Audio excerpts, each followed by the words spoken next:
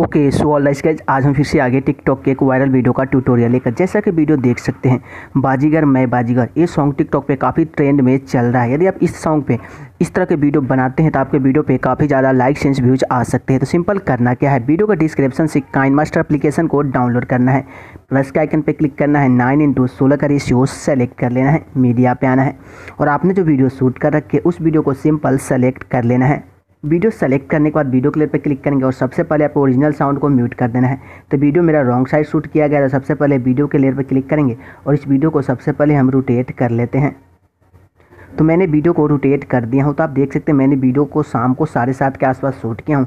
तो लाइटिंग की थोड़ी प्रॉब्लम है तो मैं सिंपल यहाँ पे कलर फ़िल्टर पे आता हूँ और थोड़ा लाइटिंग इसको सही कर देता हूँ। तो आप देखते हैं थोड़ा लाइट लगभग सही हो गया तो मैं आपको तो मैं आपको कोशिश करूँगा वीडियो को सही तरीक़ा से एडिट कैसे कर सकते आप।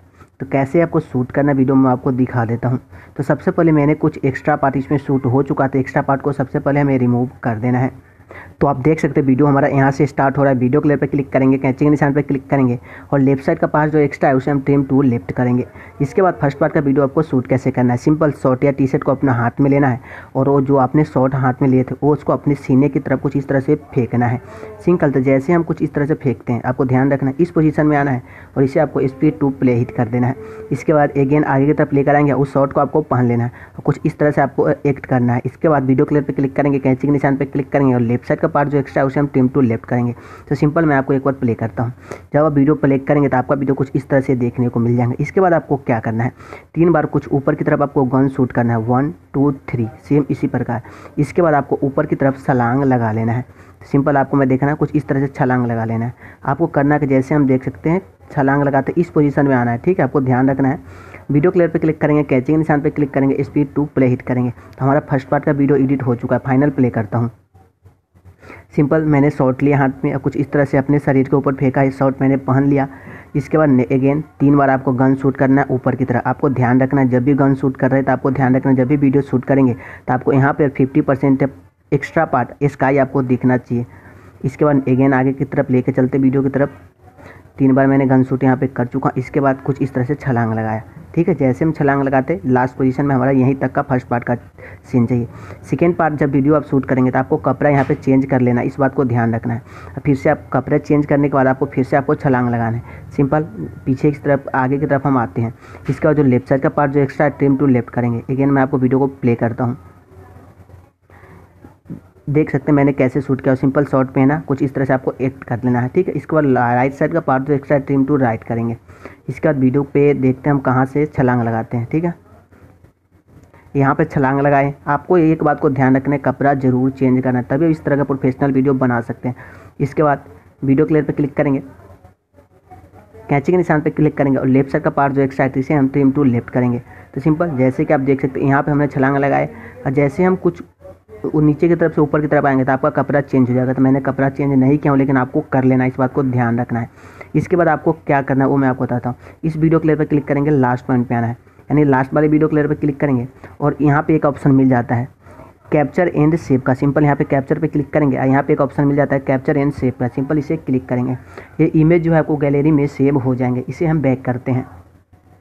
बैक करने के बाद आपको यहाँ पे एक एप्लीकेशन इंस्टॉल करना पड़ेगा, अपने मोबाइल फ़ोन में बैकग्राउंड इरेजर इसके बाद इसे आपको ओपन करना है। जैसे ही ओपन करेंगे तो आपके पास कुछ इस टाइप का इंटरफेयर देखने को मिल जाएगा। सिंपल लेआउट डे फ़ोटो पे क्लिक करना है। जो इमेज आपने कैप्चर किए थे, उस इमेज को यहाँ पे सिंपल सेलेक्ट कर लेना है। तो मैं इमेज को सेलेक्ट करता हूँ। सेलेक्ट करने के बाद इमेज सेलेक्ट करने के बाद इस इमेज को आपको पीएनजी में सेव करना है। सिंपल इसे डन करेंगे। डन करने के बाद मैजिक पे क्लिक करेंगे और बिल्कुल आसानी से आपको कुछ इस तरह से एडजस्ट करने के बाद इस इमेज को पीएनजी में सेव कर लेना है। तो यहाँ पे आपको टाइम देना है। जितना टाइम देंगे, उतना आसानी से आप पीएनजी में सेव कर सकते हैं। अगर अगर कोई एक्स्ट्रा पार्ट आपको इरेज हो जाता है तो यहाँ से आप बैक भी कर सकते हैं। इस बात को ध्यान रखना है, ठीक है? तो मैं इस इमेज को मैंने पीएनजी में सेव कर चुका हूँ, ठीक है? तो सिंपल करना क्या है? डन पे क्लिक करेंगे और यहाँ पे आपको सेव पे क्लिक करना है। ये इमेज आपको गैलरी में सेव हो जाएँगे। इसे हम बैक करते हैं। बैक करने के बाद काइन मास्टर अप्लीकेशन ओपन करेंगे। इसके बाद आपको क्या करना है? हम आपको मैं बताता हूँ। इसके बाद जैसे कि देख सकते हैं, हम गन शूट करते हैं यहाँ पे। फ़र्स्ट गन शूट करते हैं। थोड़ा हल्का जस्ट पीछे आना है। गन शूट, जैसे ही गन शूट करते हैं, लेयर पे आना है, मीडिया पे आना है। और जो इमेज आपने इरेज किए थे, उस इमेज को आपको पीएनजी वाले को सेलेक्ट करना है। और कुछ इस तरह से आपको क्रोप पे क्लिक करेंगे, आपको यहाँ पे क्रोप कर देना है। कुछ इस तरह से। तो यहाँ पे तीन पार्ट में क्रोप करना है। इसे डन करेंगे इमेज पे क्लिक करेंगे, इसे आपको फुल कर देना है। ठीक है? इसके बाद नीचे से हम क्रॉप करके दिखाता हूँ।